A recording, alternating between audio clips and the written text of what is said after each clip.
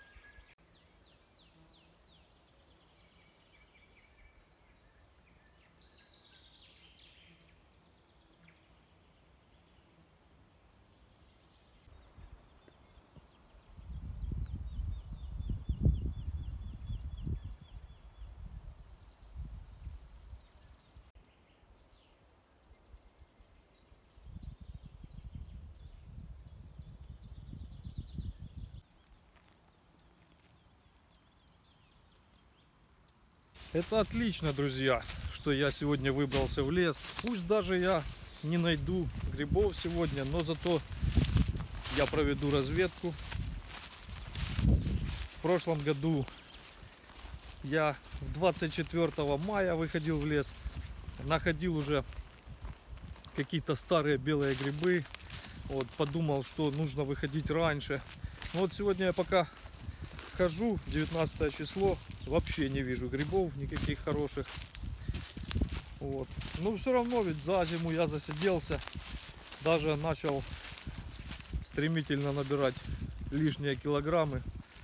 Это действительно меня уже забеспокоило. Вот. Но ничего, грибы у меня еще есть дома в замороженном виде. Я их периодически готовлю. Они меня выручают, когда мне нужно заменить мясо, ну, животный белок. Вот, потому как я уже не представляю себе обеда или ужина. Вот просто из, ну просто каши там или просто картошки без кусочка мяса или рыбы. Но это неправильно. Я вот недавно наткнулся на одну статейку. И даже есть видео в ютубе по этому поводу. однодневное голодание называется. В чем его суть заключается? Один японский ученый провел исследование, результатом которого стал вывод о том, что голодание омолаживает наш организм. Он взял клетки дрожжей, посадил их там на голодную диету, давал им мало глюкозы, мало сахара. И наблюдая, выяснил, что клетки этих дрожжей начинают сами перерабатывать свои структуры. В первую очередь они начинают перерабатывать э, старые, мутировавшие, окисленные там составные части клетки. Конечно, затяжной процесс голодания уничтожает клетку, но именно выдержанный процесс ее омолаживает. И за это исследование этому японскому ученому дали Нобелевскую премию.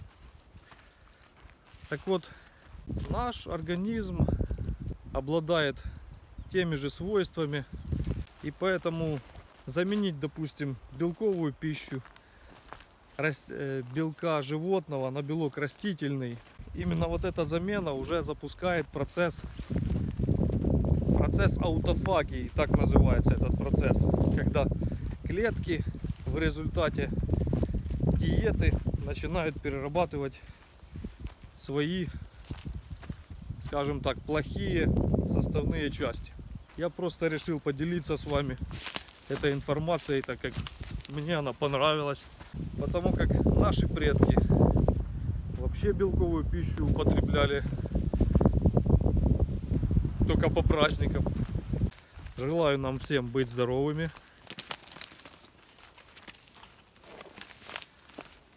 И прожить на этой прекрасной планете как можно дольше.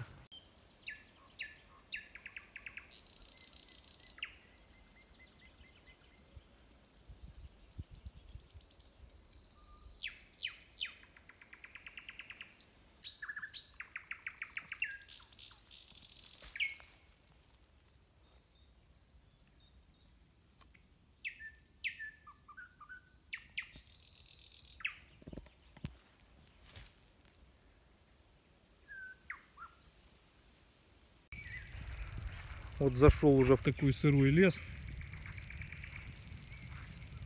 Близко к реке. Вон там речка. И тут на солнце вылез вот такой гриб. Что за гриб такой? Похож на зонтик.